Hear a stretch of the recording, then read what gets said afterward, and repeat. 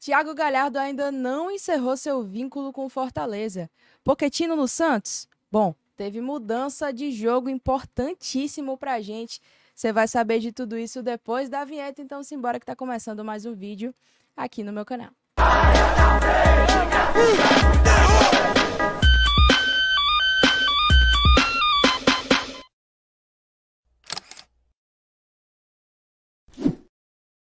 Vamos nós. Primeira coisa, pedir o seu like, tá? Que ajuda muito no crescimento, no engajamento aqui do canal. Então, deixa o seu like aqui embaixo. Se inscreva também para a gente poder bater logo a marca dos 15.200. Preciso da sua ajuda. Então, compartilha esse link para a galera ficar também muito bem informada. A primeira notícia para a gente passar aqui é da alteração de data, certo? O Fortaleza jogaria contra o Altos no sábado, dia 20, certo? É, tirando amanhã, no outro sábado, uma partida muito importante, decisiva, né? Decide aí quem vai jogar a semifinal com o esporte, que acabou passando do Ceará no jogo que aconteceu na noite dessa quarta-feira. Porém, teve uma mudança. A CBF acabou postando o detalhamento da tabela da Série B na noite de ontem e nisso informando que teria o jogo do Ceará no sábado. Né? Então, pouco tempo depois dessa tabela divulgada, teve a correção né? Ao invés de deixar os dois, dois jogos para o mesmo dia, né? Obviamente, um erro. Eles colocaram esse jogo para o domingo. Lembrando, certo? De algo importante também. É que nessa semana o Fortaleza vai jogar é, contra o Boca Juniors na quinta-feira. Né? Vai jogar no, contra o Cruzeiro na quarta-feira.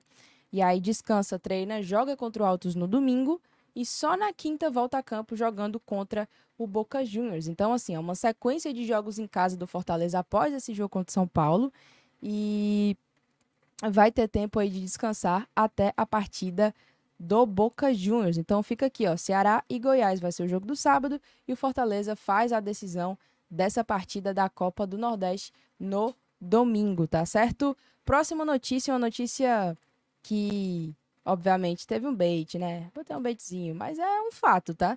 O Galhardo não encerrou seu vínculo com o Fortaleza. Ele apenas foi emprestado para a equipe do Goiás, certo? Saiu a matéria aqui do Afonso Ribeiro. E ele ainda tem contrato com Fortaleza até 2025. Então, bom, o Goiás ainda não oficializou o Galhardo, né? Não, não, não sei se tem uma alguma cláusula, né, de renovação por mais um ano e tal, assim, com um passe fixado, encerrando o vínculo com Fortaleza no fim desse empréstimo. Mas eu não sei, tá? Vamos ter que esperar para ver é, como é que vai se dar essa situação do Galhardo, mas não é um problema para agora, né? O Fortaleza é, libera aí um espaço na sua folha, o Galhardo vai para Novos Ares. E bom, temos novidades também sobre o caso do Anselmo Ramon para falar por aqui. Novidades, inclusive, que eu acho que agradam a boa parte da torcida do Fortaleza. Então, mudando aqui, simbora falar sobre isso. Ó, galera, é o seguinte. O Central do Fortaleza tinha postado aqui, né, que já tinha o contrato nas mãos do Anselmo Ramon, é uma matéria do Globo Esporte também, falando sobre isso, né? O presidente do CRB acabou soltando isso e bom.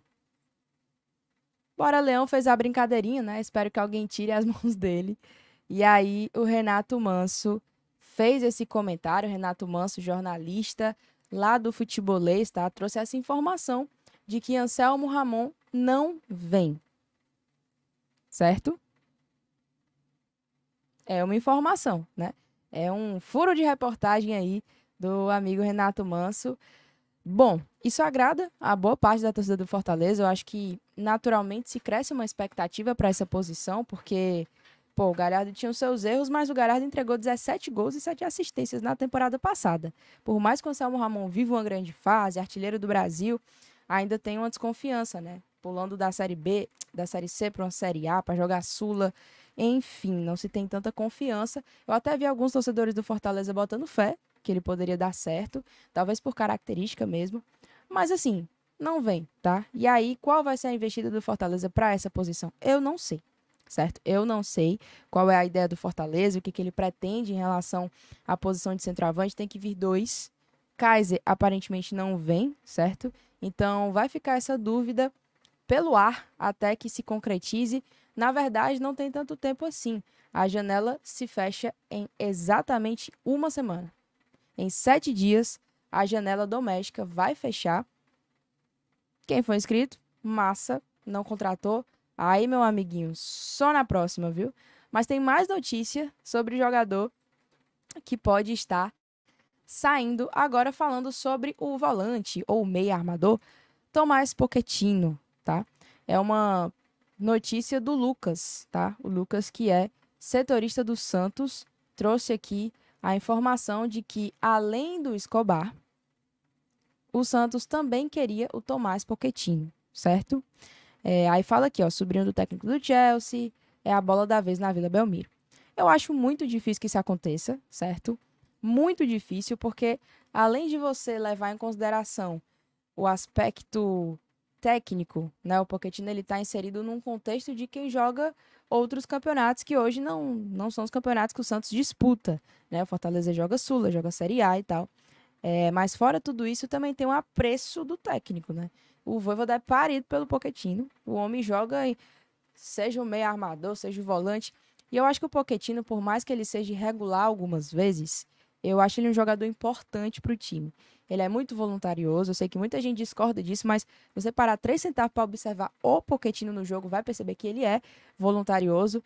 Tem os seus erros, muitas vezes de passe, como eu falei, ele é irregular, mas às vezes entra muito bem. Mas um jogo silencioso, taticamente importante. Eu diria que o Poquetino é isso, certo? Por isso que o Voivoda tem tanto apreço por ele. Então, não acho que vá sair, tá? Acho que não, não faria sentido o Tomás Poquetino sair do Fortaleza. Fortaleza esse que vai é, disputar amanhã a sua primeira partida no Campeonato Brasileiro na Série A, certo? Está se preparando para isso. Postou as fotinhas aqui do treinamento. Ainda não oficializou Felipe Jonathan, mas já tem imagens do Felipe Jonathan em Fortaleza. Então, acredito que hoje possa sair o anúncio do Felipe, talvez também a tradição de 2024, então tô até com a tradição de 2023 aqui com o pet de finalista da Sula, se Deus abençoar, iremos de novo. E fica a expectativa, né, para um Fortaleza que iniciou muito mal a temporada, mas assim, vem com um respiro de alívio, né, de conseguir ter vencido é, mais uma partida da Sul-Americana, tendo o Alex Santiago de volta ao seu departamento de futebol e também outras notícias ali que formam uma agenda mais positiva para tentar começar essa Série A com menos pressão, mas eu acho que esses caras ainda precisam se provar, certo?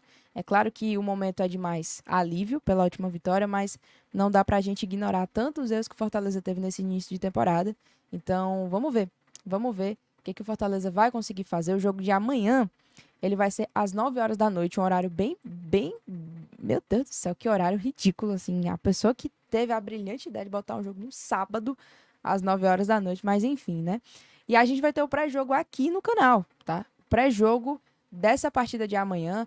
Às três e meia estaremos aqui ao vivo para comentar sobre tudo isso, provável escalação, enfim, tá bom? Um beijo para todos vocês, obrigado por terem acompanhado até aqui. Não esquece de deixar teu like, se inscreve aqui também. Fiquem com Deus até a próxima e tchau. Ah, fala aqui nos comentários também, tá? Fala nos comentários a tua opinião sobre tudo isso aqui, beleza? O link da live já tá aparecendo aqui para vocês. Beijo, tchau.